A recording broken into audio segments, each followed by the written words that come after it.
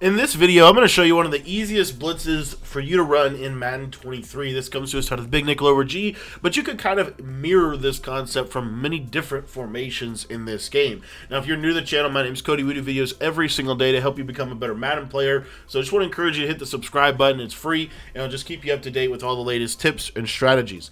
Now, I believe that the Big Nickel over G is the best defense in Madden 23. I still believe that. I think that it stands the test of time. I think it will stand the test of time it has all different kinds of pressure concepts that you can run. It has edge pressure, it has loop pressure, it has slot pressure, it has gap pressure, it has um, little linebacker stack pressure, which we're going to go over in just a second.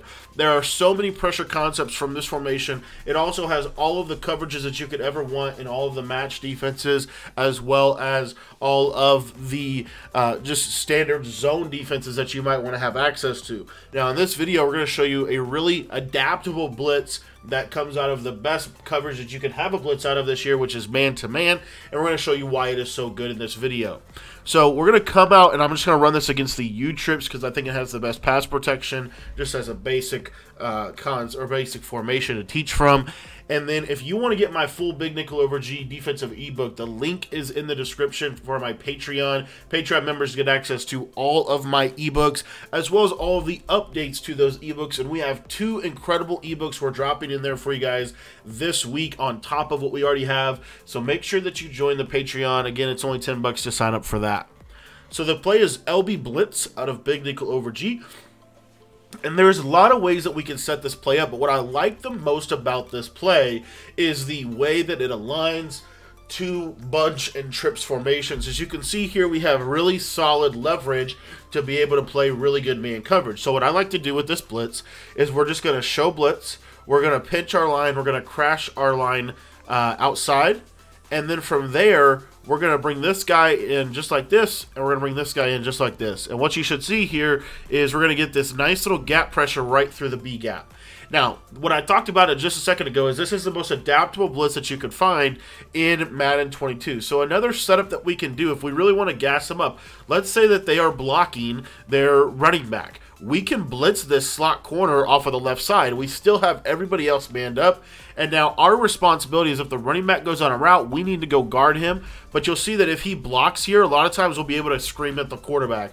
Really easy pressure. Again, this pressure can mold and adapt to the routes on the field and to the way the formation works because of the fact that it is such uh, such solid in terms of alignment.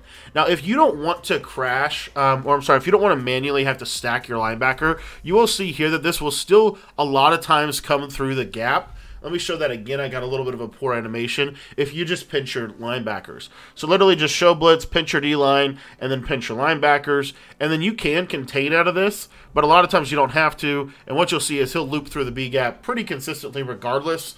And then the real nice thing about this defense is you could do it on either side.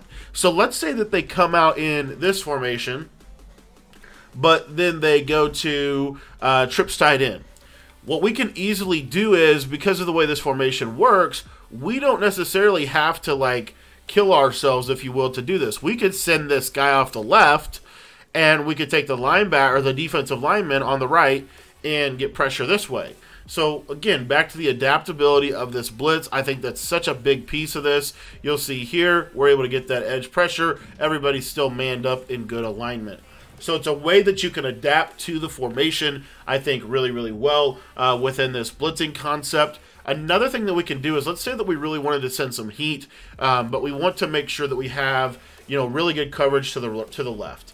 So we could drop this defensive end in a zone, and a lot of times what you'll see here is this slot corner will come off of the left edge.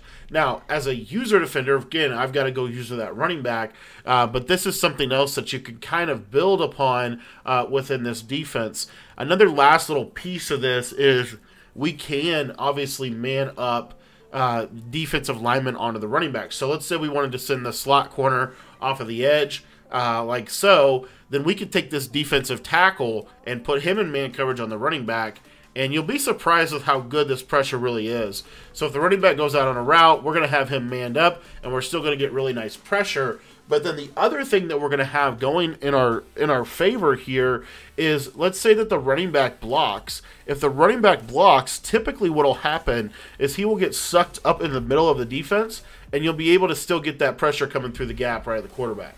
So it's a great way to kind of hedge your bet. Does the running back block or not? Uh, we'll be able to kind of create the pressure that way.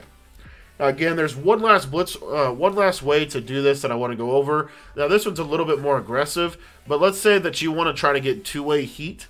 Um, you can come down here like this with this user and basically kind of do something like this. And you see how fast the blitz will come in, and then I just have to get out to the tight end um, on the play.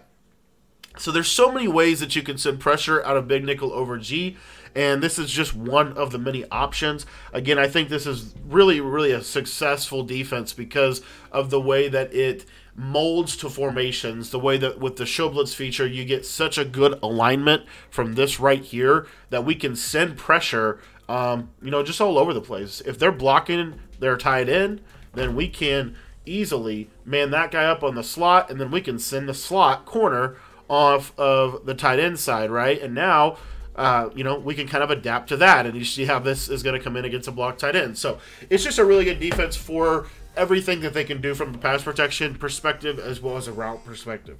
So I want to thank you for watching the video, and if you're really interested in getting the defensive ebook, make sure you join our Patreon. It's only $10 to sign up for it. There's a link in the description if you want to sign up for it.